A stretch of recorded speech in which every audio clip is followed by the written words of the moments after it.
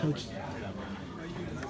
Um, uh, sorry, you was talking about that you guys were bl- that they were blitzing you guys a little bit, and then you made the adjustment. What adjustments did you guys make from them for them blitzing? Yeah, nothing different than probably what we'd seen all week. Their defense poses a lot of issues getting into you know really heavy boxes, nine-man boxes.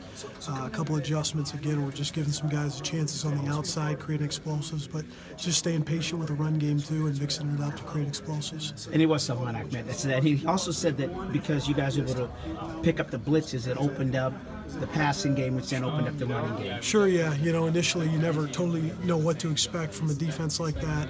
Um, again, so it ended up being a, a little bit of a throwing uh, situations to open up the run game, but was uh, happy to see the run game get going there as of late. Your wide receivers continue. What can you talk about? I mean, the whole team great, but your wide receivers continue to be a force. What can you say about that? Yeah, we're, we're proud of those guys, and uh, again, I think we'll look back the film. Always going to be some details to clean up, but I think uh, the biggest thing we've made an emphasis on this year is giving those guys a chance to go make plays, not necessarily just sit here and go.